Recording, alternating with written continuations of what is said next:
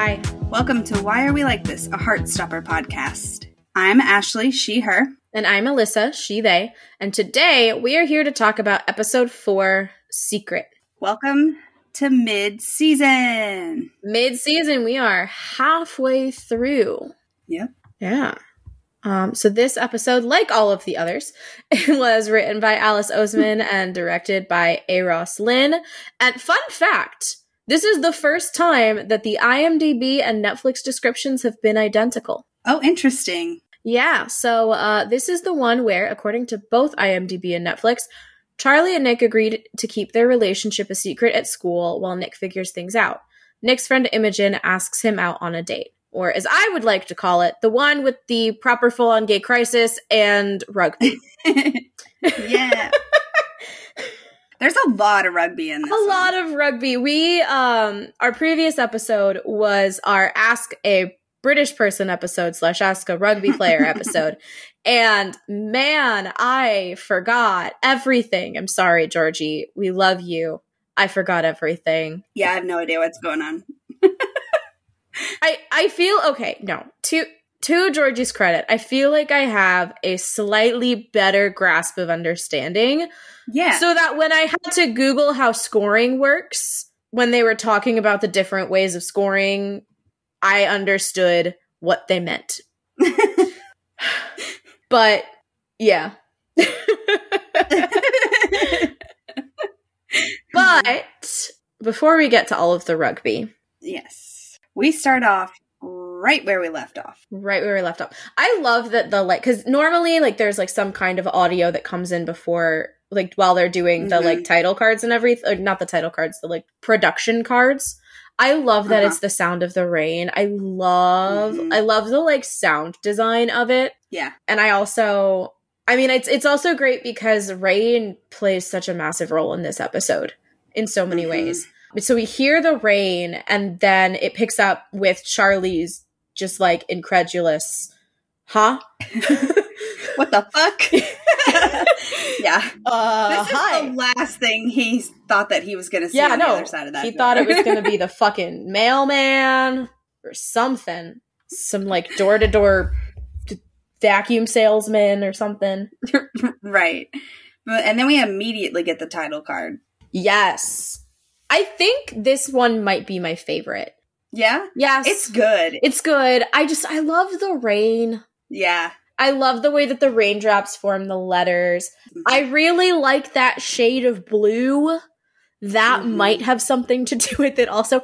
I just when I like when it came up I was like, "Ooh, this might be my favorite." So I, it felt worth noting. It's it is a good one. Mm-hmm. I I don't think that I've thought about rating them yet. I'll have to get back to you on that. Ooh, But we it is, should- it is one that sticks out in my mind. We should kind of flag that as something to think about for our season Mhm. wrap up is like all the title cards. Yeah. I like that idea. So Charlie pulls Nick inside. He's like, You're getting soaked, come inside. But they still don't shut the door. They still don't and I'm like, "What what?" like, no wonder Jane comes through in a minute because, like, why has the door been open for like 10 minutes? Yeah, yeah. And I don't love Jane. I mean, at all. No. But in this scene, I don't love Jane. But I don't blame her for being like, "Excuse me, Yeah. you don't pay for the ele- the, the like energy for this home. exactly. Yeah. door." yeah. but yeah, so we learned that Nick didn't check the weather before running to Charlie's house, and that is why he is soaking wet. Yeah, I love his face whenever Charlie asks, like, "Oh, ha- have you forgotten your coat?" Nick looks like he's forgotten how to talk, let alone remembering to bring a coat. Like he has no idea how to form words at this point. Although, you know, in a few scenes, um, Charlie is not one to judge. So right, and we'll get there. I have some things to say about some of Charlie's choices, but Mm. we'll get there. Um anyway, so Charlie kind of like jokingly calls Nick an idiot and Nick goes on a journey.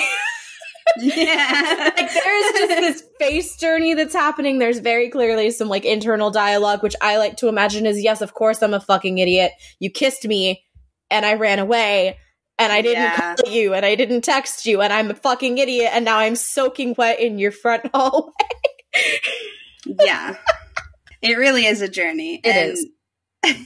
he has gone on a journey. To yes. be fair, Uh, yeah. hmm Uh, he wants to talk about last night. Enter Jane Spring. wait. First, as soon as he says so about last night, Mhm. Charlie deflates, and he is like folding in on himself and bracing himself Mhm. for the absolute worst. Yes, this is. Jane comes through. I I I'm gonna bring this up later, but like I feel like he just immediately starts practicing his apology speech. Yes, that he's probably been formulating all night. Oh, certainly, certainly. Yeah. It's just he fell asleep repeating that like a mantra. He woke up and was brushing his teeth, repeating that. hmm It's been the only thing in his mind since he Yep. got home. And when Jane comes around the corner, he looks for just a split second.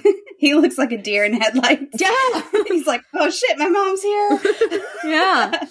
Uh, Jane didn't know that Nick was coming over. I will say he gets that deer in headlights look and then he recovers quite quickly because Mhm. he has that. Yeah, he's here to pick up a jumper that he left last week real quick. yeah, while Nick's brain is still doing the like spinny loading Yes. sign. and then Jane sucks. yeah, but it does. This does lead to I. I think this is my favorite Nick admiring Charlie moment of, the, of season one. Yeah. because she says, you know, like, okay, but we're going to see your grandma, so like make it fast. And also, you could change out of your pajamas. Mhm. And when she says that, Nick takes in Charlie in his pajamas and he fully like blushes and is like having a moment about it. And then he looks up and Charlie's looking at him and he gets so embarrassed that he got caught. yeah. and it's just like so pure and there's like the like domestic vibe to it Yeah. because he's like at his house and his pajamas and stuff and it's just like sweet and pure and I love that moment. It's yeah, that's really sweet. I hadn't really picked up on that because I was too busy being mad about Jane and thinking about how this is because this is the first time that we see Jane. Yeah. And so they're doing a really good job of like planting this seed that kind of comes throughout in the comics of how she's really hypercritical of Charlie especially. I mean he's she's hypercritical of Tori as well in like solitaire and in the comics, but it really hits Charlie hard and it's a really nice like subtle detail Mhm. um, and I think that the actress does a good job of the the nuance of you could have at least changed out of your pajamas. Like Yeah. it's not discussed, and it's like she thinks that she's coming from a well-meaning place, but the in, impact therein is not good. So even though I don't like it, Also like what fucking time is it? Like how Yeah. how long has he had Mhm. to really change out of his pajamas? I mean, I like I interpret it as like she's saying like, oh, well, if you knew he was coming over, you could have at least changed before he Mhm. got here. But it's like, fuck right the fuck off. Right, yeah. Like he was brushing his teeth, so clearly, even if this, you know, I mean, obviously we know that it's spontaneous, but like, so clearly Nick is early or something because Charlie was still getting ready. Right. So I feel like there's some like suspension of disbelief there. I don't know Yeah, for sure. On Jane's part. Sorry, suspension of disbelief on Jane's part. I realized after I finished my sentence that that was not clear. um, they go up to Charlie's room. Well, Nick says they should. You know, Charlie says they should go up to his room, and Nick goes first, and then Charlie checks his hair in the mirror. There, yeah. Um, which prompted me to uh, bring up a side note because my husband and I were watching uh, the first three episodes last night because he said he wanted to watch it. Finally, I'm so pleased. And we watched Meet, Woo! Crush, and Kiss. And during Kiss, when Charlie's at the party and he's checking his hair in the mirror before he finds Nick, Eddie said, uh, Charlie checks his hair a lot for someone whose hairstyle is, I just rolled out of bed. Which is not an inaccurate statement, but I love it. Like, I I love that him checking his hair a lot when he's around Nick is a character. yeah. There's a lot of parallels in this, I think, Yeah. in this episode. hmm I wrote down a couple. Yes, I did as well. So Nick starts to take off his soaking wet hoodie and it like slides his shirt up some. And Charlie's eyes like go huge. Huge, and then they go down. down. Yeah, away. Abort mission. Do not look. Pure panic. Yep. And Nick is wearing a Vans shirt, which he wears them Mhm. frequently, but I think this is the first time that I actually like noticed it. Clocked it. Yeah. Yeah. Um, and Nick goes, he just says the word so, and Charlie immediately jumps in and has a speech. Mm-hmm. Um, and he, I didn't write it down word for word because the thought of doing that made me cry, and so I paraphrased. um, but Charlie says he wasn't thinking properly about what he was doing and that it was stupid and that he doesn't want to, uh, doesn't want Nick to feel awkward about it because it was all Charlie's fault. And then he says that he sh- he says I shouldn't have kissed you. And Nick looks so sad. yeah, his face crumbles. Uh, you know, I he just hears that and immediately starts thinking that Charlie doesn't feel the same way. Yeah. You know what the the feelings like flip in that moment where he's like, "Did I overstep?" And then Charlie continues, and it becomes clear that he thinks he's overstepped. Yes, and Char the way that Charlie is spiraling out loud, Mm-hmm. just it's so real. Yeah, It it like the way he's like putting words in Nick's mouth and assuming thing like I also I've been in a bit of an anxiety spiral for the last couple days and so it just really spoke to me as like as I've been working through that myself right now right. I'm yeah. like, this is exactly what I'm doing. It actually, watching it this morning, I was like, oh, I'm I'm doing that. I should I should um Oh, you know no. apply my therapy skills and coping Yeah. mechanisms and stop doing that. Um, but like that's It's so easy to get sucked into that spiral, though. yes. But like the way that it's done, where he's like.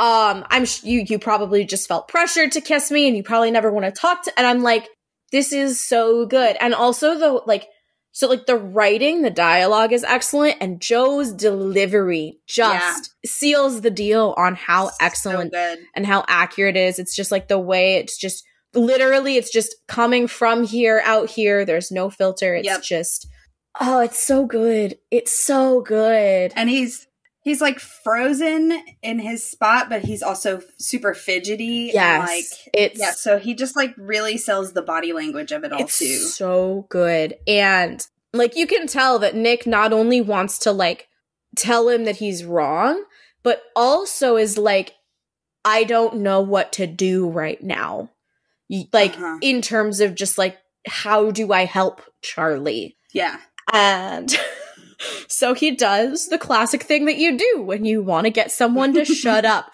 you grab them and you kiss them yes, but in a good And way not in a shitty Yes. way like ben yeah. So this is one of the parallels that's like perfectly parallels to boyfriend when Charlie is trying to stop Nick from Yes. his nervous rant.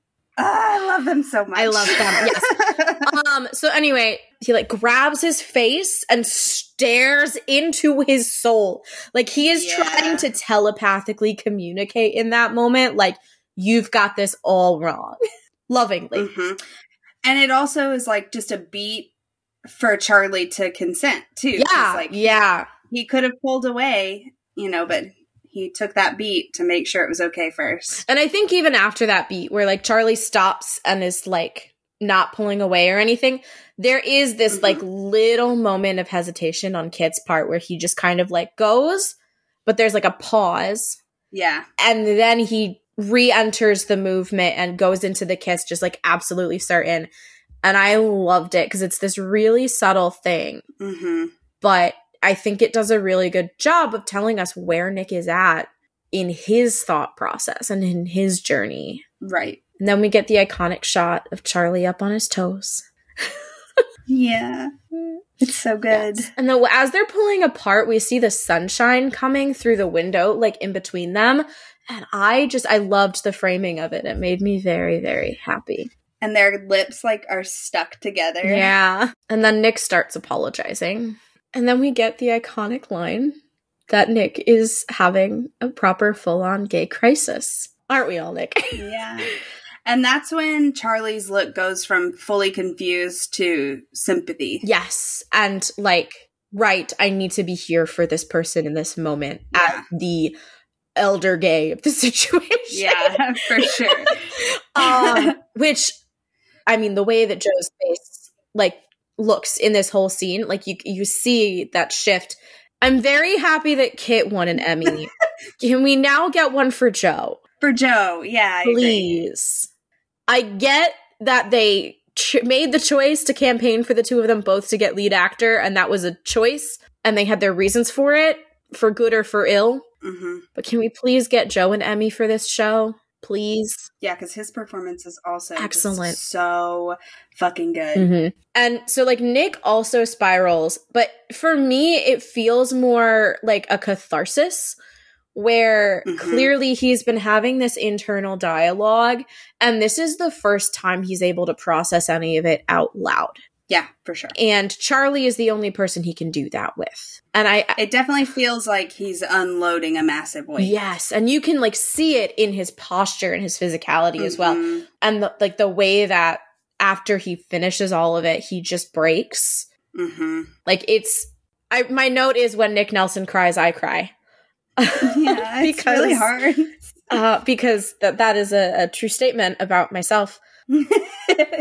Like it's it's it just it feels so real and I I love everything about the way that Charlie like responds where he just like sits there and like it's just a look of like whatever you need Mhm. I'm here and then Nick just like goes and like breaks down on his shoulder and Charlie just has him. Yeah. And it's like so gentle and tender in the ways that we've seen Nick be gentle with Charlie before. right. And I I love it. Um and I just want to hold them and tell them it's all going to be okay. I also love the moment that so like the first time that he like falls into Charlie and starts crying. I feel like it was more of like he didn't really think about it, it just happened. Yeah. And then as he's laying there crying, he starts to think like, "Oh, is this okay?" And he lifts up and looks Mhm. at Charlie, and Charlie just gives him the most like supportive and caring smile, Yeah. and he's like, "Okay, I'm all in." And so then he can finally just like let it all out and Yeah. be safe and and not have to worry. And I it's just so beautiful. I know. And I just I can't help thinking about how hard it must be to kind of like have your queer awakening be your best friend.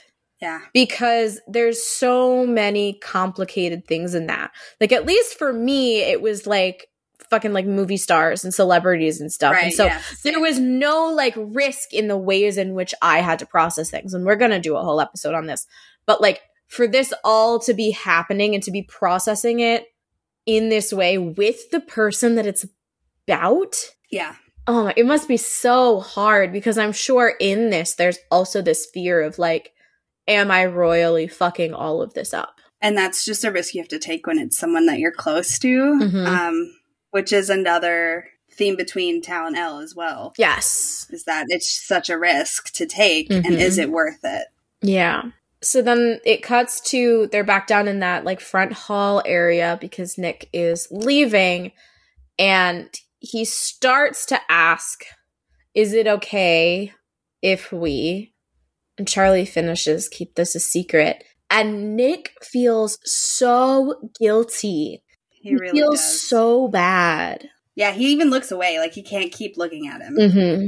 And Charlie says that it's okay. And like looking at his face, I I believe him. hmm I, I can tell that there's like a bit of this like memory of what happened with Ben, but I also can tell that Charlie doesn't feel like it's the same. Right.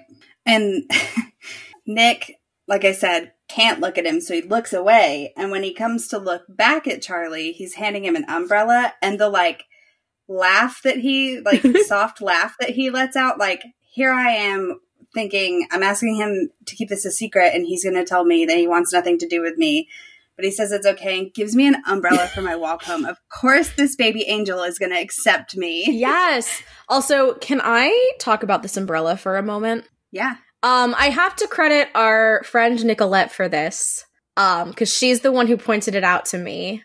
The umbrella is blue on one side and yellow on the other side. hmm and there's going to be a few more i'm not going to go through the whole thing right now because i want us to like talk about the things that are happening but at this moment charlie Hay holds the umbrella out with the yellow side towards nick and the blue side towards charlie which is interesting because if we associate any color with these children yellow is the Yeah. charlie color blue is the nick color and when nick takes it Nick has the blue side towards him, yellow side towards Charlie.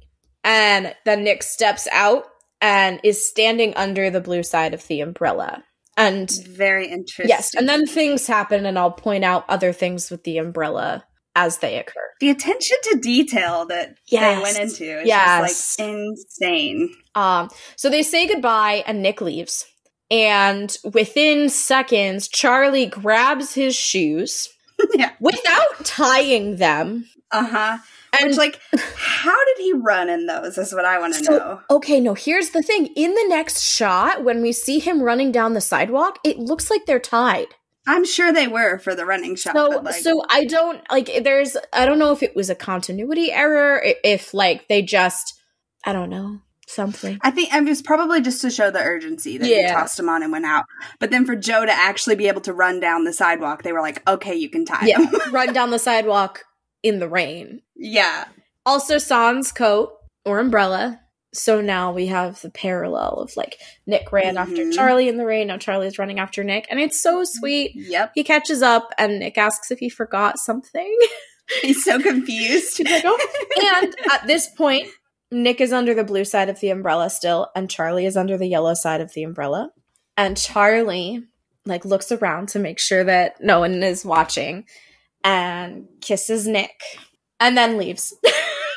yeah. Nick just has this giant smile on his face, which um He has never been happier. never been happier. And we get another one of the rainbow lens flares. Mm-hmm. And now, if you'll notice, Nick is standing under the like he's like right under the line The middle. that separates the blue and the yellow. But then when he turns to leave, now he's under the yellow side.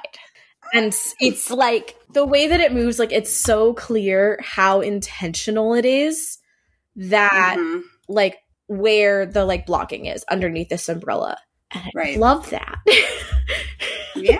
so cute. Yeah, that's a good catch. I hadn't really noticed. Uh, I knew that at the end he was in between, like kind of on the line of it, Mhm. but I hadn't paid attention to before. Just because him standing there in the rain, smiling like an idiot, is such an iconic Yes. comic shot. Mhm.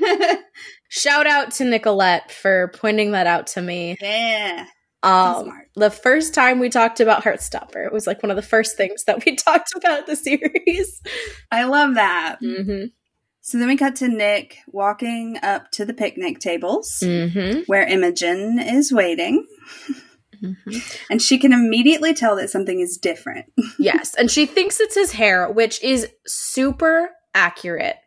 Kids are obsessed with whenever their friends or classmates change their hair to like the Really? point where oh, it, anytime in the morning, anytime there's a kid who has a haircut, who's gotten a haircut, they either like have a hat on that they refuse to take off or they have their hood up and we don't allow hoodies in our school, dress code, whatever. And like as soon as the kids see it, they lose their shit. kids are obsessed or like even when like the teachers change their hair if it's noticeable Interesting. so so like just the fact that she assumed that it was his hair kind of i was like yep that tracks Um, but then imogen is kind of like flirting by messing with his hair which nick doesn't like which is relatable i also don't like when people mess with my hair yeah. But he doesn't convey it very well because Yeah. he's too busy on his Charlie high. yeah and like he like he kind of like from imogen's perspective it like you could get the Yeah, she misinterprets it Yeah. as being directed towards her instead of Mhm. just him being like almost like he's head. flirting back right, exactly. Especially after she walks away and then turns around and he is still sitting there like blushing and grinning. Like yeah that could that is understandably misinterpreted by Imogen. Yes. And then we get one of my favorite Imogen lines. It's because of the delivery. Um, but she says, Don't worry, I'm a highly qualified hairstylist of Oh. hairstylists. Yeah, it's so good. I love it. This is a super cute interaction, even though we know that that it's not gonna like it's kind of like awkward and weird to Mhm. see um because we know like all the backstory but a super cute scene Yes. And then Imogen has to go because she remembers she has morning detention. which i've never heard of I haven't either. It seems less effective hmm because it's like I mean, I guess depending on like how how late is she? Because like if she was supposed to be there like hella early, Yeah. then maybe I could see it being super effective. But like if it's just like thirty minutes before the school starts, Yeah, I just- starts, I have- like whatever. I have a lot of questions. Cause like my other thing is like you want the detention to be I guess like it's like a social time. Mm, fair. And with detention you want to be taking them out of a social situation, which is like often why like my school we do lunch detention. Mm, where you get your food and then you go sit in a room and be sad right. while all your friends are hanging out and social. That sounds effective. some 50 50. Yeah. yeah. 60 40, but that 40% make sure you know that they don't care if they have lunch detention. Mhm. um, but so she leaves, but she gets one last hair ruffle in, and my whole body just goes, ah, yeah. cause I know. I was like, oh, my sweet little clueless girl. Yes. But like also at the same time, like I do that also to Eddie sometimes to be silly, but normally I Mm. obtain his consent first. But that's that's marriage for you. oh, so then we cut to another direct parallel Mhm. to our series Open, where Charlie Is walking is down the hallway. beaming, so happy on his way to see a cute boy. But this time, his boy is there. Yes, and also the the shot in form mirrors the first time we see Nick because Mhm. the the camera cuts away from Charlie and someone's in the way and then they move Mhm. and um my my notes for this scene say and this is um in all caps nick looks so happy to see charlie. I am not okay. Code blue send help. I am unwell. I just they're so cute and so happy. My note is Nick, can we keep this a secret? Also, Nick, staring at Charlie, smiling from ear to ear and blushing and giggling. Yes Not subtle, my guy. Yes, for the listeners who cannot see the Skype call right now, my mouth, I was full of, I, my mouth was full of tea, but I was just nodding aggressively the whole time to what Ashley just said. Uh, they're so obvious. It's so adorable. But they're so cute and so happy, I know. and I love them. And they're like actively not touching, but they also like can't stop looking at each other and, And they can't stop smiling. Like, I'm like, Yeah. my f- my cheeks hurt just looking at them. right. also, there's when, when Charlie walks into the classroom and he like pauses for a second and then he starts to walk. You can see a poster on the hmm on the wall there, and I misread it the first time. I thought it said burgers, and I was like. What? and I was like, do they post like what's for lunch on the door of every class? And I went back and it says glaciers. So I need to get my eyes checked. like that makes a lot more sense. That does make a lot more sense because we've established that this is a science classroom. yeah. And then we cut to Higgs, and Tara and Elle are there, and Darcy is like arriving and goes to sit down. And Tara's just kind of like staring at Darcy. Yeah. And Darcy's like, With such like a her face is like very like mischievous and like yes, I'm about to do something. yes. and then Darcy's like, what? yeah, and Tara kisses her, and Darcy's like, oh, hi. And Elle is like, oh my God. They're everywhere. Everywhere. Um, Yeah, so Tara and Darcy are getting bolder. Yeah. Um, and seeing Tara and Darcy being all cute and lovey in class prompts her to text Tao back that she misses him too. The pining is so strong. Yes. They're in love even if they don't know it. hmm I think they do know it, they just are scared to admit it. Um And then we cut to everyone's favorite art teacher. Oh my God, he's so good. He's great. I love him. I at three different points in the last 24 hours, I have stated that Mr. Ajayi, Isaac, and Tori are all my favorite characters. nice. That they're my favorite character, like full. I'm like, oh my god, I love Tori. She's my favorite character. Oh my god, I love Mr. Ajayi. He's my favorite character. oh my god, I love Isaac. He's my favorite character. But so Charlie comes to the art room and passes by Mr. Ajayi, who's like, There's a boy in there waiting for you.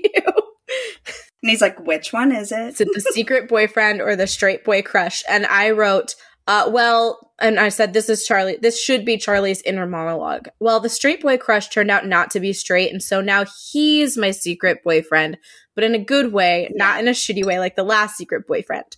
But instead of that, Charlie says, he's on the rugby team. I joined the rugby team. And the way he says it, like so dreamy when he's like, he's on the rugby team. And he's like, I joined the rugby team.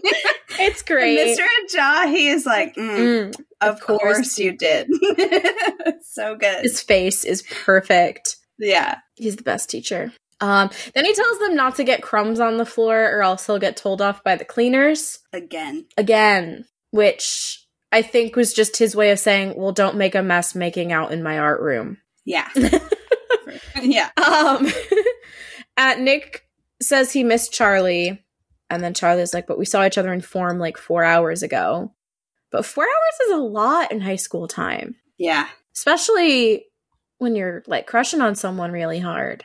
hmm And they start holding hands under the table still. Featuring four chewed up wads of gum, Yeah. which uh, and then I wrote accurate. Yeah. Ugh, It is a truth universally acknowledged that every school table has several Yeah. chewed up wads of gum. One of those was really fresh though, like same day fresh. It was gross. I was I'm like, sad you "Ew." know that. I am also sad that I know it, but it is a fact of life when you teach yeah, tweens and teens. for sure. They're just they're so cute, flirting. I love them. And Nick says Mr. Ajayi was giving him evils before Charlie got there. And Charlie admits that Mr. Ajayi knows about Ben and the keeping him a secret thing. And when he says that, Nick's face completely falls. All of that guilt he's been pushing down comes Right right, straight up to his face. Uh, Charlie reassures Nick that what Ben did is not the same as what they are doing, which is true. And I mean, I I've been there where I've experienced or like been in a situation where I've known about abuse or other like kinds of mistreatment and I've just been hyper aware of anything that might even look slightly like that. And the thing that a lot of people always say is like, well, the fact that you're aware of it means that that you're not doing it.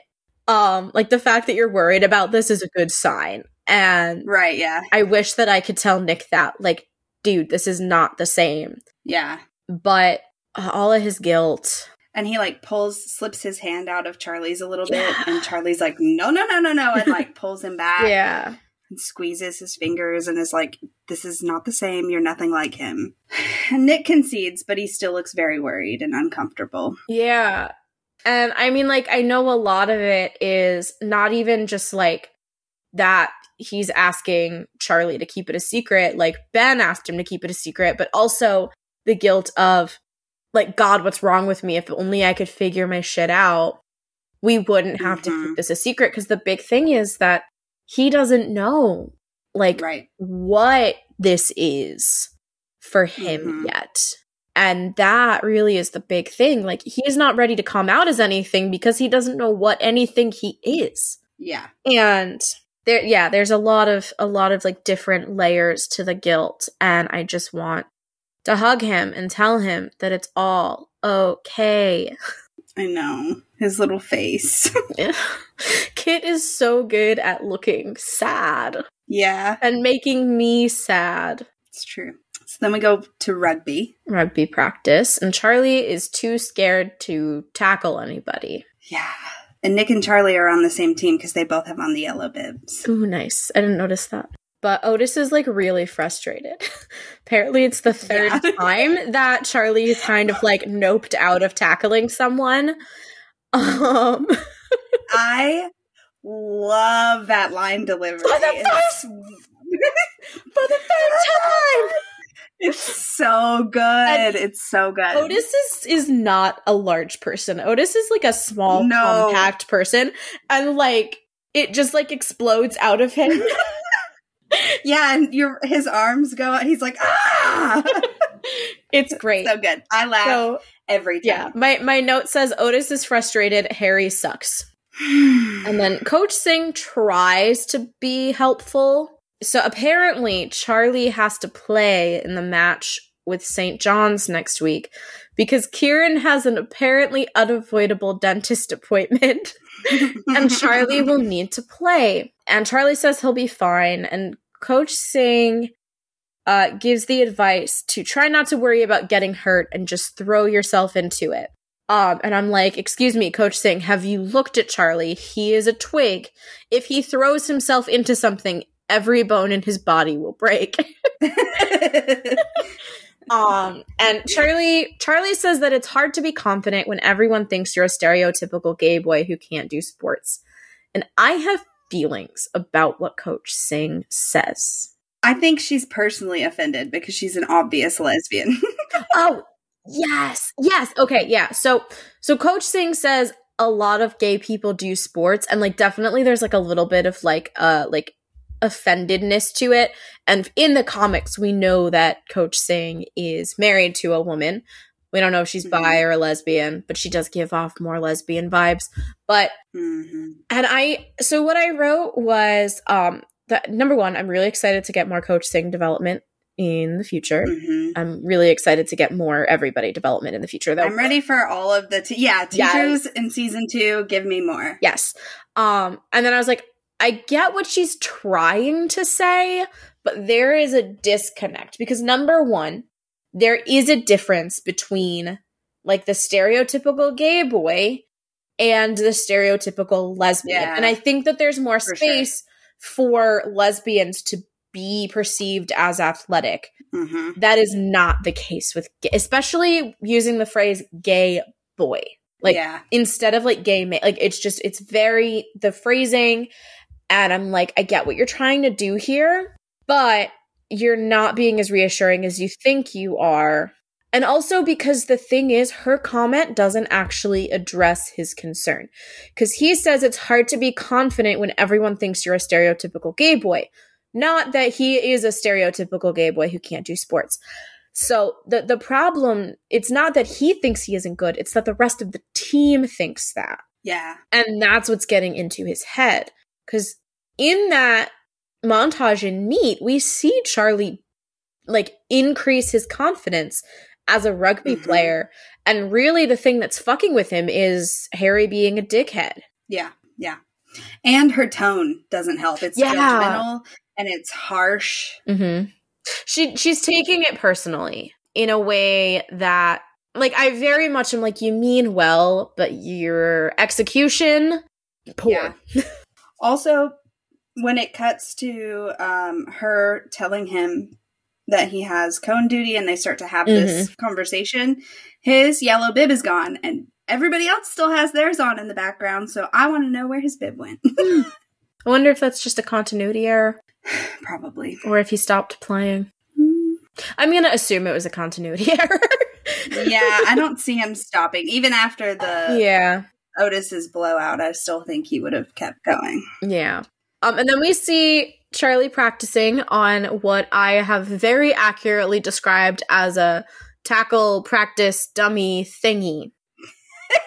and now Eddie played football in high school, and so I summoned him while I was watching this. I summoned him into the room, and I was like, "What would you call that thing?" Um, because you know, football, Yeah. American football is a tackling sport. So I was like, "You've probably used these." Um, and he was like, "I don't know," but he ins- he looked it up. Uh, which I had no interest in doing because where's the fun in that when you could say the tackle-y, practicey, dummy thingy? Right. Um, but apparently it's called a tackle. apparently it's called a tackle bag. Um, Tackle bag. which is boring. That's a boring name. Yeah. It's a it, it's an apt Right. name, but it's boring. And yeah, so we just get this like little montage of him running and tackling this dummy. And I think it's so fitting that the song that's playing is called Heart. Yes. Because he does have a lot of heart. And yeah, he joined the rugby team for Nick. But now he's a part of the team and he doesn't want to let his team down. He doesn't want to let his coach down. Yeah. So he is going to try to ramp himself up and get ready for this game where he plans to make an actual effort. Um, and so solid song choice. Yeah, that's a good one. And then we go to Higgs, and we're gonna play a game Gosh. that I like to call Spot the Gay. Because we see these two conversations, and each of these conversations, one of the people involved is definitely queer and just not out yet. I love this so much. Um, so Such a good scene. the first group, we have some like older students, presumably around the same age as our as our main characters. And the first one says, "Well, apparently they were kissing at Harry's party, like properly kissing." And then the second girl says, "Yeah, well, some girls who are friends just do that." do that. Said every baby gay ever. Every yes, and I, I love the look that the first girl gives. That she like kind of like rolls her eyes and is like, um, Yeah. no, no. like, like what the fuck are you talking about? Um, and then we cut to some younger girls who I would say are probably like middle school aged, so like Mhm. 12, 13 ish. And the first one says, actually, when you think about it, there are 1,200 people at the school, so at least a few of them are going to be lesbians. And then my favorite. and then this adorable baby girl, this adorable child says, maybe you're a lesbian and you have no idea. And her eyes are so wide, So- and the oh. other girl's mind is blown. Blown. She's like, fuck. Although, okay, so it's very clear who the gay person in the previous conversation is. Which one of these two girls do you think is the gay person? And is it both of them? I think it's both. I think it's both of them. They're the two of them are gonna make out before they graduate. yes. They're the like friends, like the lifelong friends who end up dating and then it ends horribly, and that is their lesbian origin story. yeah. Because everyone has one. Everyone has that one friend who you fall in love with and it's a disaster. Mhm. um that is that is the headcanon I have about these two uh little tweens here. I also love the fact that these like extras or like, you know, these like background actors in 30 seconds make enough of an impression for us to be able to Yeah. have this conversation. right. It's just really good attention to so detail. good. and presume I, I want to credit Euros a lot for that because when you're working with young actors like that, especially like presumably unexperienced background actors, a lot of that Yeah. comes down to the, the direction. Yeah. And so it's really, really well done there. Mhm. So then we cut to the cafeteria and everyone is staring at Tara and Darcy, and whispering. whispering and just like being very, like, it's very obvious that everyone is talking about them. Yep. And Darcy looks really annoyed, but Tara looks like she's trying to fold in on herself and disappear. Yes. Tara is on the struggle bus and I want to hold her. Which we have to remember that Darcy's out and has been out. Yeah. And this is really And so this is really probably Tara's first experience of Mhm. like in person discrimination like this. Yeah. And it's really weighing on her and you can see it. Yeah. And then Imogen comes up just to add insult to injury. oh my god. this Imogen. this I this is this is an ex I this is peak Imogen. There are other like Imogen moments in later episodes that I like more because of like the character development, but this is Right. peak Imogen Yes. Heaney right here. I love her attitude. I love her line delivery. The way she's like, um, you guys have this all wrong. yeah. Oh my god. But like, so she wants to know if Tara and Nick are a thing, or if she's with that girl uh you kissed at Harry's party.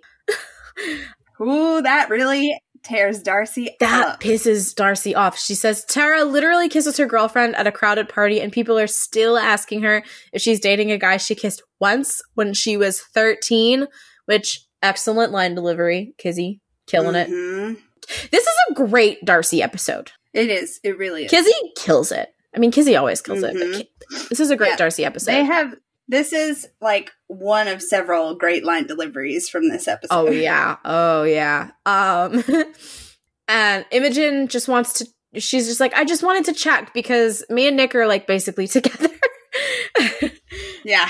Which my sweet, sweet clueless girl. I love that like Elle calls her on it and she immediately like- dials it back. And then she's like, but we look cute together.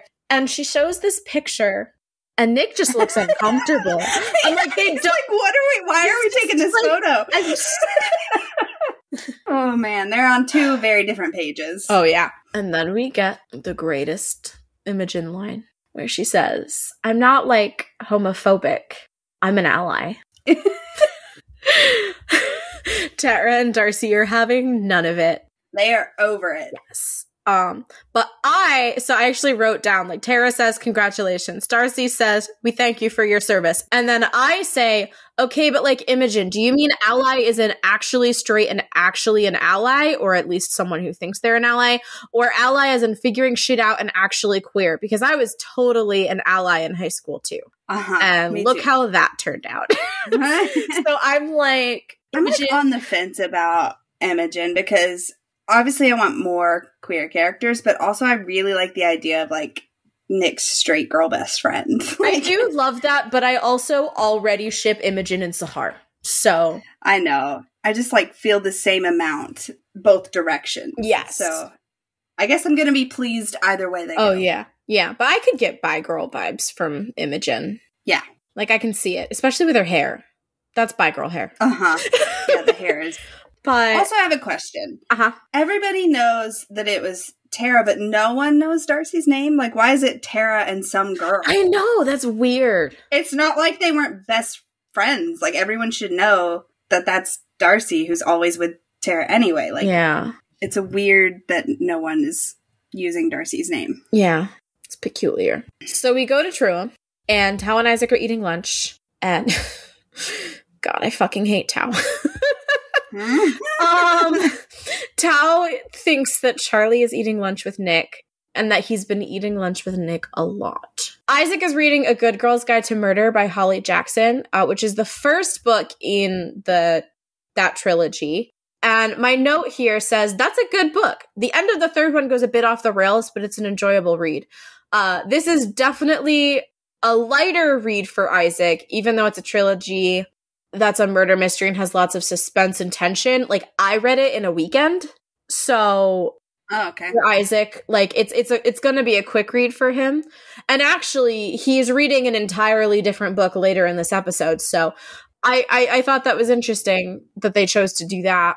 But then I, Isaac, he's like, well, they're in the honeymoon phase. Um, and Tao is like, it's not like they're dating, unless they are. Unless they are, which is his way of being like, open your fucking eyes, bro. Oh my god. I love Isaac. I actually uh, what I wrote here was he is incredible and wise beyond his years, probably from all the books. In The Great Gatsby, this is okay. I'm I'm turning on my like English major teacher thing right now. In this essay, I will. um, so in The Great Gatsby, there is a character who appears in only two scenes called and and the the narrator of the book, Nick Carraway, nicknames this person Owl Eyes for several reasons. The most obvious of which is that he has like big, like Coke bottle kind of glasses that make his eyes look big like an owl's. However, Mhm. it's the Great Gatsby, so everything is symbolism. Um, and the other thing with calling him Owl Eyes is because this character like represents like perception and seeing the truth, um, and speaking that truth in a lot of ways. And Isaac reminds me a lot of Owl Eyes. Mm-hmm. It's just like you know those like characters that stick with you. Mm-hmm. Owl Eyes is one of them. Like he just keeps coming up in my brain, just like. but yeah, Isaac very much this kind of like perpetually around, but kind of in the background kind of character who sees everything Mm-hmm. and knows what's going on. Yeah. he knows what's up with Nick and. Charlie. He knows what's up with Tao and Elle. He see he's he's incredible and wise beyond his years. Yeah. I love him. Nick walks up with the rugby boys, which tells us that Charlie's not with Nick. Obvious. So where is he? Why is he Good hiding question. yeah. alone? Where is Charlie? And I st- I still don't get the like vitriolic hatred that Tao has for the rugby boys. It's just it's like such a deep seated like core tenet of his identity that he hates the rugby boys. Mm-hmm. And I'm like a lot of it goes back to Charlie's bullying. Yeah. And Harry being mm-hmm. like what the biggest bully in school basically. True. But like none of the rugby boys ever do anything yeah. stop him or jump in in any way and so I would lump them all together too. That's fair. Even though it's not the whole team that's that's singling me out, there the others are basically supporting him by standing yeah. around and laughing. Um, and I think that makes sense, especially in high school. Your emotions are like intense about everything. Yeah. So even just like someone who like says one thing to you one time, you're gonna hate them for a while. Yeah. Imagine it being constantly every day, multiple times a day. So that's fair. I think I get I get it. I also just don't like what happens now. like I don't like this moment. Um it makes me angry. Um so Harry, Nick and like half of the rugby team walk past and Harry being the piece of shit that he is throws the mm-hmm. rugby ball towards Tao and Isaac, tells them to catch it and it hits Tao in the head. Presumably on purpose because Harry is good at rugby. Um, right. Nick goes to pick it up and like is trying to be nice and make sure Tao is okay. And Tao refuses to give the ball back and says, No, it's mine now. Like it very much has this like tone and this air of like, I have the power in this moment. And if I can't have Charlie anymore, then you can't have the ball, which is stupid. But like, I also can see that being like angry high school teenager logic.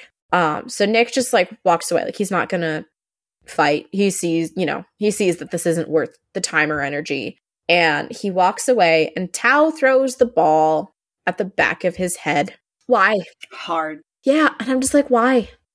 I'm like Nick, why? I just, I, why Tao? Why? And I know the answer is Isaac is uncomfortable. Oh yeah. I know the answer is just like teenager testosterone bullshit, but it it makes me mad. I don't like it. And like to get back at them for throwing it at him first and all of that, but then also a devil's advocate like Nick shouldn't have rejoined that like he should have left just yeah. somewhere else instead of going back. It's a bad look for Nick. Yeah. Um, and you know he's like really worried about impressing Tao and yeah. Charlie's friends, and so there's all this like whirlwind of emotion going on in him. Like he doesn't want to give his friends any clue that mm-hmm. anything is off, but he also like yeah nick is nick is in a really difficult position in this scene and i like i end up feeling like I th- and I think that the the episode is trying to make us feel this way, but I end up like feeling more empathy mm-hmm. for Nick in this scene than I do for Tao. Um, also just the way that Kit acts with his fucking back turned. I know. I'm like, God fucking damn it. but I, I I have a lot more empathy for Nick in this moment than I do for Tao. But like also like we've established yeah. that I don't like Tao. Tao Yes, he's, make, he's making it really hard. Like I'm like I understand where you're coming from, dude, but you're making it really hard for me to feel for you. And if I were Tao's teacher, I know exactly what I would say to him in this instance. And I tell him, I'm like, yes, I understand that you're frustrated, but retaliating and like pushing back like this isn't going to accomplish anything except getting you in trouble as well. And that's just going to make you more upset. Then we pull up outside St. John's and they are doing their warm up run. Mm-hmm. And all of Charlie's friends are coming. Just so nice. So the way that Nick says all all of your friends are coming, you know he's like, shit, okay, Tao's mm-hmm. coming then.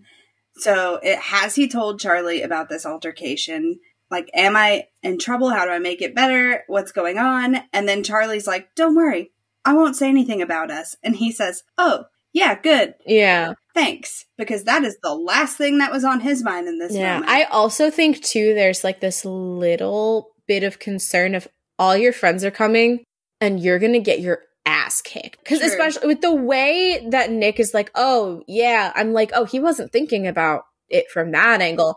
I was like, oh, Mm-mm. you know that St. John's is. Why did no one warn Charlie? I know, I'm like, I, it's, I, it, I think it was so that they could make the literal adult men joke, but I, But he yeah, someone should have told him especially as the reserve that's playing his against this ever. fucking doped up school of professional athletes. I, Jesus. So anyway, before we get to that, um, here, I, so I, you're gonna have to fill in the gaps because my only note about Harry coming up here just says "fuck off, Harry," and I didn't write anything else down. What happened? I don't remember. Uh, he comes up and tells Charlie that they're counting on him Oh, today, right, right, right. basically poking Yeah. his insecurities. I think he says like you're not gonna chicken out. Oh, on us or yeah, something. yeah. And then he's like, "We're all counting on you." Fuck off, Harry. Yeah. And then the gang is here. And then the gang is here, and Charlie goes to say hi and meets Tara and Darcy. And I love Darcy's whole look the braids, the outfit. I love Yes. it. It's great. I want it. I wish that I could Mhm. French braid my hair. yeah, the backpack, Perfect. everything. Um, so good. And Darcy announces that she's mainly here to get acquainted with the local gays. Which yeah. tracks? Um, I mean, mainly she. I think mainly she's here because Tara's here. right. But um, then she says that Charlie and Nick are looking suspiciously coupley. And Charlie is not. He so freaks the fuck freaks out. He's worried. Like, what if there have been rumors? She says, "No, nothing but my gay intuition." Says that he and Nick are totally platonic good friends, which is totally a thing that platonic good friends say about each other. but also, that's another um, Kizzy line line read that's so good when they're like, "Are you friends?" Friends. friends. it's excellent. It's excellent. but Nick is standing there stretching, and he's watching all of this happen, and you can see that he's like slowly dying so on the inside a little bit. Because this is Nick fucking Nelson who Mhm. wears his heart on his sleeve, and he's not used to hiding Anything. his emotions or you know his feelings and so this is Yeah. really hard for him and he also it also comes with all the baggage of charlie's past history and so while it's also eating away at him that he can't like that it's just like hard not to express stuff it's like how Yeah. much am i hurting this person also and then imogen comes by arm in arm Yeah. with ben Yeah. which, why? Why? My note is honestly for someone who is trying to get with Nick, she's doing a real good job of looking like she's into Ben. Maybe that's why Yeah, he's so maybe. clueless. I also so what's really funny is because Eddie and I were watching the first three episodes yesterday, and Eddie actually at first thought Imogen was the girl that Ben was kissing. Ooh. Um, she's not, but like it's a. I feel like it's a. You could You- easily yeah, mistake I could that. see where yeah. and and I had to like clarify it, and like it changed the entire read of the situation. Um, Eddie was like really confused why she was flirting with with Nick. He was like, wasn't she just kissing Ben? but yeah, no, she's very Yeah, because she's always near him. and yeah. I think she's and just I a very like that. touchy And person. I'm very, yeah, she is, and I'm super interested to see like what they do Yeah. with that in Mhm. season two. But I'm also just really interested to see what they do with any of that, any of the Ben stuff. season yeah, like yeah, there's just so many things where I'm like, what are you doing here? Not in a bad way, just Yeah. in like a I trust you, but I don't see the vision yet. So the game starts, and Charlie asks why the St. John's players are literal adult men. And Nick explains that it's a specialized sports school, which um, I guess just means it's okay to give your students anabolic steroids because that's the only Right. Way that, that? these people look like this. I number two has scary thighs. that was one of my notes. Number two's thighs are scary. They're so thick. I like it. But eh, yeah, no, I'm like, what? I'm like, huh? Tara and Darcy are also concerned about the largeness of the St. John's players. Like they run past Mhm. and they just like Tara just goes, "Oh, Also, I really like Elle's. yeah." The Hair little in hairband, this the the like too. blue and, Yeah, and yellow cute. bands are really really cute. the The game starts. Nick does like a kickoff thingy. That's the technical term. Uh, right, Georgie? That's the technical term. And then Im- we see Imogen cheers, come on, Nicholas. Come on, Nicholas. She always calls him Nicholas, and it's weird. I think she thinks that that's flirty, but it's just kind of weird. And Ben says, Harry, don't let the game go soft. I'm like, what the fuck does that mean? I don't know what it means, but I think he just wanted to say Harry and soft in the same sentence. you know, that's no, this is, uh, no, I'm not even gonna, I, I, I can't, I can't. I can't. No, it's. I'm just like with the. I. I think what it's trying to. I think what he's trying to say is like, this is gonna be a hard game. Don't let it just be this other school wiping the floor with you guys. I think that's Yeah. what he means, but it's weird. That It's- sounds right. Yeah. It's a weird Yeah. way to put it. Yeah. Um, Tao Elle, Isaac, Tara, and Darcy do not remember the rules of rugby. Me either. My note says, as much as Georgie told us, I still have no idea what's Yeah. going on here. Um, but it doesn't take an expert to know that this is not going well for the Truham boys. no. They're just they're getting tackled left, right, and center. It's, It's rough. rough. And then it starts to rain. I like the little score cards that come up a couple times. Uh, the first one says St. John's 14, Truham 0. At which point I realized we forgot to ask Georgie about how rugby scoring works. a very important But. I looked it up because I, I I had a hypothesis that because I was like, okay, so St. John's score is 14. So I was like, does this work like football scoring? And the short Right. answer is yes, it works like football scoring. So Got it. You get five points for a try, which is essentially a what we would understand in American football as a touchdown, and then you can essentially kick a field goal for two more points. And then there's other ways to score points, but that was irrelevant to uh, my current hypothesis. something something penalty kick something something three points. Um yeah, yeah, that part was more complicated. But for for our purposes, we only need to know that the scoring essentially works the same as football. Um, if that is an oversimplification, I apologize. I did not sports. Well, I I was a competitive swimmer, but it's a very different thing, you know. I didn't sports yeah, ball. yeah. hmm Also, as soon as the rain starts, my first thought, the first time I watched this was, oh my God, I hope Isaac has a backpack for his book. Uh yes, I I didn't notice the book until a little bit later, but the the book we see uh soon is well protected. The book is okay. yeah. So anyway, so we see Charlie get tackled and Nick just calls out in concern. I'm like, dude, you're trying to keep it a secret. You're not doing It's a good job. Instant. And it's so filled with worry too. Like it's it's very obvious that Nick is very concerned Yeah. about Charlie. Um, then we see all of Charlie's friends are also very worried, and then we see Ben laughing. And Imogen doesn't laugh, but she doesn't not laugh also. It's not not a good look. Yeah. But I feel like for Imogen also it's just like she doesn't have any like interaction or history with Charlie. So But I'm sure she's heard them talk Oh shit yeah, about him. definitely.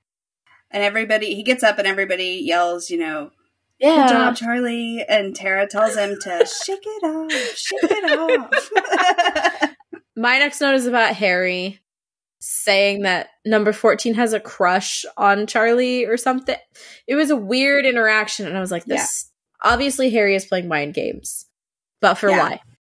Um so Ugh. then at this point is where I noticed that Isaac had a book uh which relatable. I cannot tell you how many of my brother's soccer games I brought books to. Um, but I- the book he's reading, right, noticeably is not one of the Good Girl's Guide to Murder books. It is Proud, My Autobiography by Gareth Thomas, who apparently is a retired gay rugby player.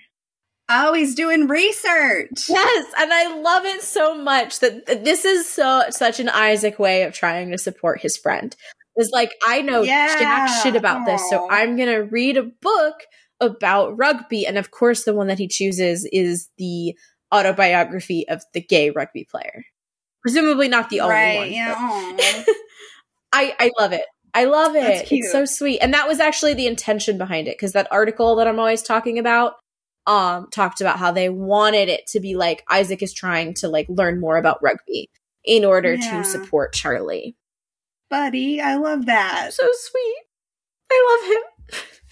I love all of them except Yeah. Tao. Um, Who's panicking Oh, yeah. at this point? Because Harry has his arm Charlie, around. and he's like really worried. And Elle tries to be positive and says that maybe they're friends. uh, which we know is false. But also, Tao says that that would be worse because then Charlie would bring the entire rugby team to film nights and make them watch Avengers. Uh, to which I said that's only fair for making them watch Donnie Darko. Because Donnie Darko is a good movie, but it's fucking weird. And so, yeah, it's it's a Yeah. lot to get through.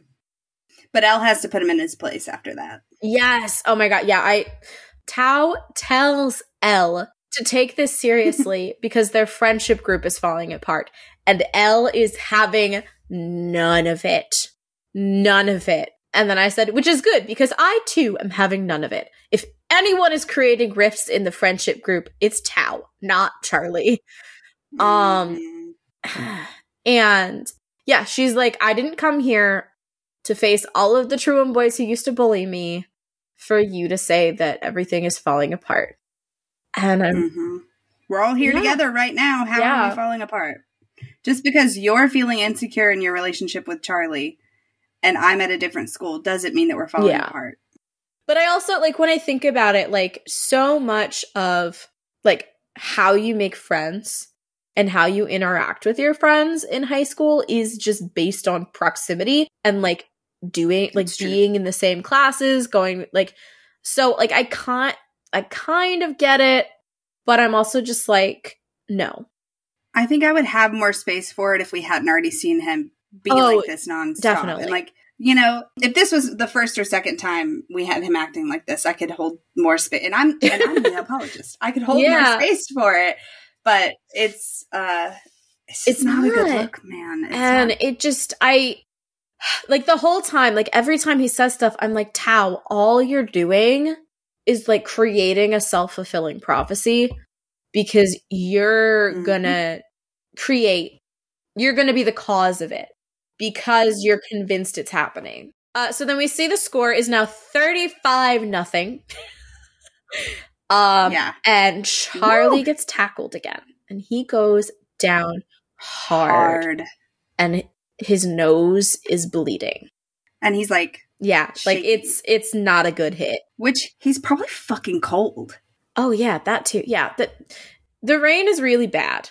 So when this happens, Nick freezes and flashes back to Mhm. the conversation that they have at the beginning of the episode where he asks if they can keep it a secret.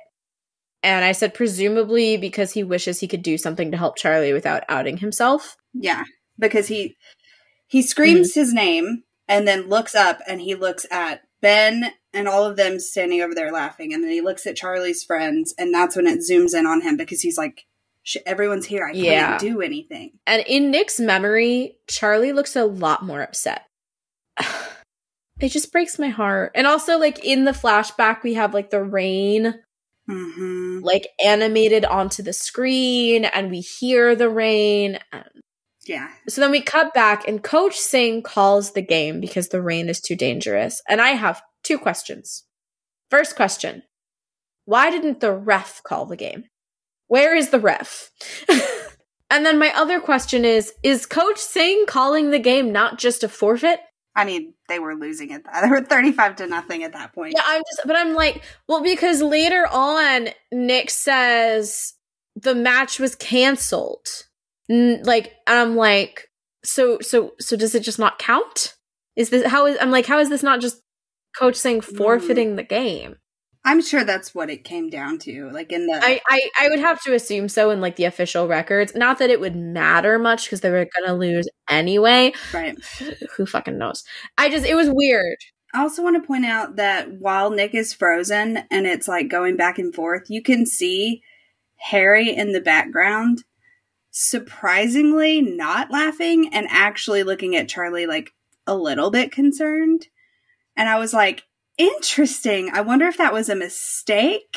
Well, I'm filming, also like or I could hold space for like you see someone go down like that and there is like a visceral like response that you have when Yeah. something like that happens.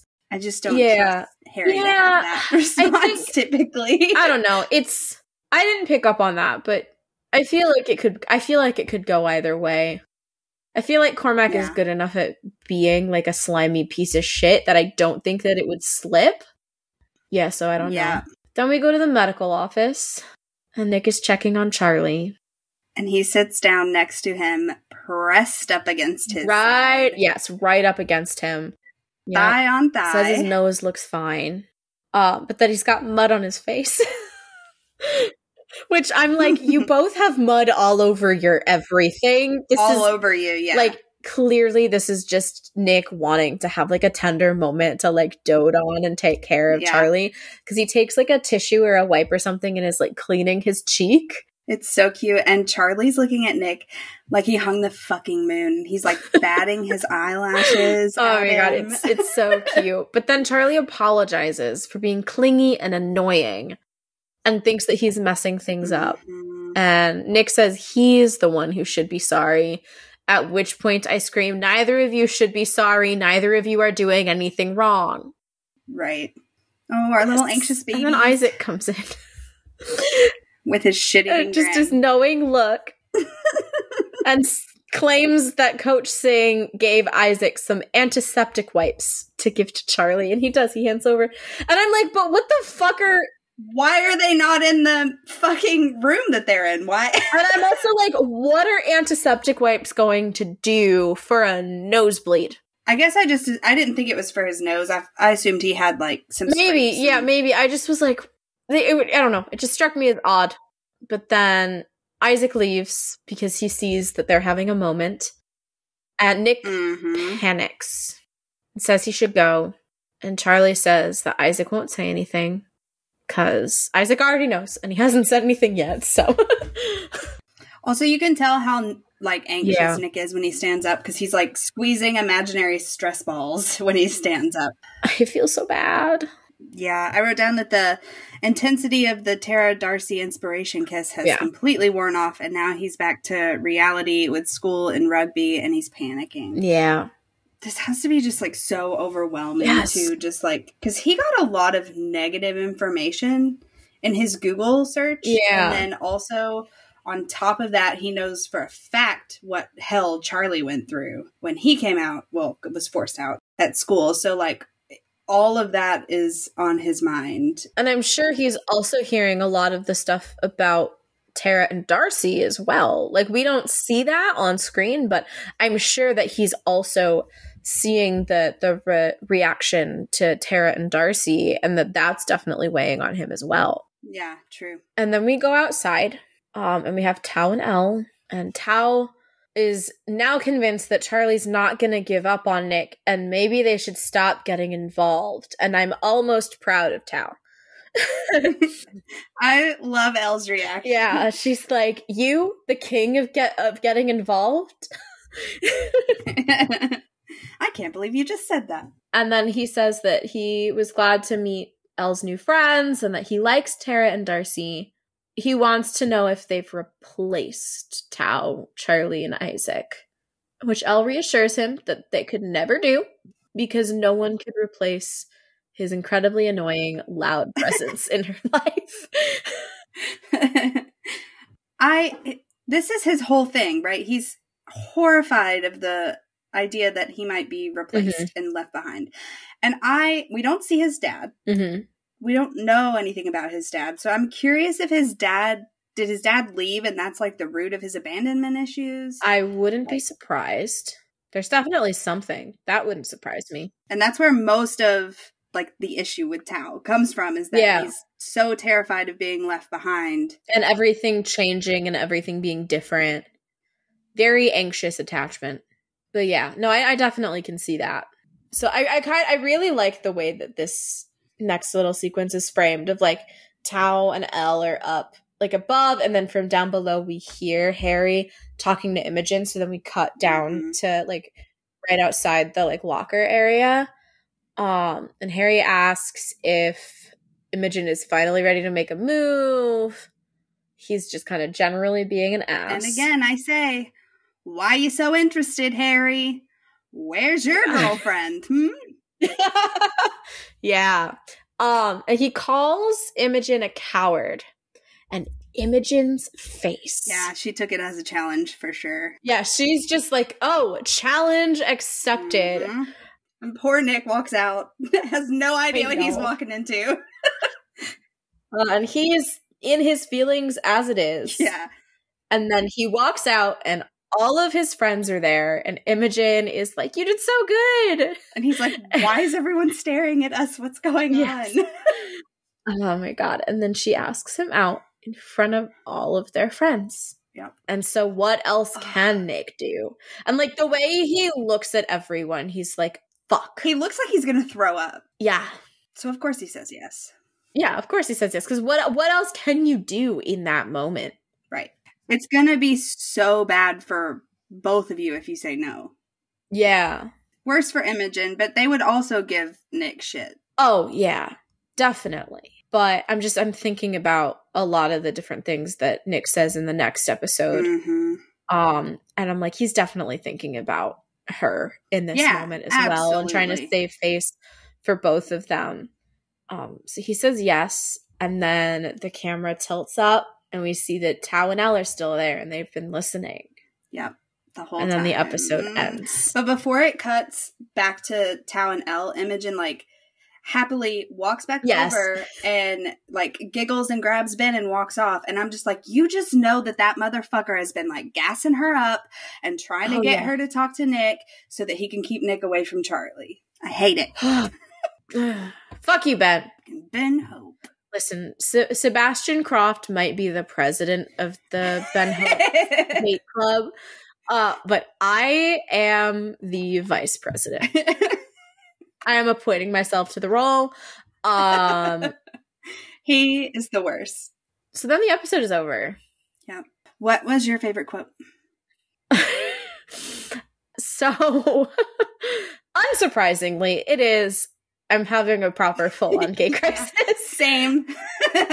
We thank you for your service. Was a contender. yeah. He's on the rugby team. I joined the rugby team. Was a contender. But I, it's the most iconic Yeah. line from the show. You can't not. Yeah, I love it. Um, how hard does your heart stop? Uh, I, I had a hard time rating this one because it starts out really strong. Mhm. And like like I said, like I did say at the one point, like Code Blue, I need help, I am unwell, or whatever the fuck it was that I said. But I ended up giving it a 3.5 because like it's there and that like I feel like the episode peaks like right it peaks in the art room and then it kind of tapers off from there. I this is I mean it's it's a really well done episode, but I think it's my least favorite of the entire series thus far. I would agree. Um there's just a lot of rugby And, And- sadness. and s- rugby and sadness. Um I was going to say angst, but like in the really insufferable way, not in the relatable way. It it this it feels like like you have the beginning which is essential. And then I'm just like, all right, can we get to episode 5? Yeah. yeah. Yeah, I always forget because like I I don't think about this one a lot, and then I remember that the first half of it is really good. it's like really Yeah. good. like I like literally my brain always thinks that the bowling sequence is in Yeah. secret because I just like blank out the rugby game mm-hmm. entirely. Okay, I gave it a solid three. And that's Mm. because I've decided I'm going to do kind of like a curved grading scale here Mm. because the last one was like so intense the entire time for me Yeah. that of course it was blown out of the water. But like this one, I feel like there's a lot of my heart stopping and then there's just like nothing after it, kind of like you said. It's like it just tapers out, and so I have to do like the median grade and not Mm. what my heart wants to go for. So Yeah. I'm giving it a three out of five because while my heart did stop, it was short lived. Um, and so yeah. Fair. Also, I'm Fair. like, this episode feels shorter than the others, but is it just because there's a lot of rugby in it? and my brain's like, do do do, let's think about other stuff. Yeah, it's just it's kind of just like a there episode. And like as we've discussed, there's a lot that's really well done in it. Mhm. I just it is a bit of a filler it's a yeah. There there's more important things to come and I'm just like I want to get to friend. Friend is great. Mhm. Yeah. So I think that that about wraps up this week's episode. So, of course, this is a bi weekly podcast by two bisexuals, which means we will be back in two weeks to talk about the aforementioned episode five Friend, that of bowling and excellent sweaters. And we get Buzzkill. Yes. by Baby Queen. Um, so if you want to follow us online, we are at Why Are We Cast on all platforms. And until next time, Bye. bye.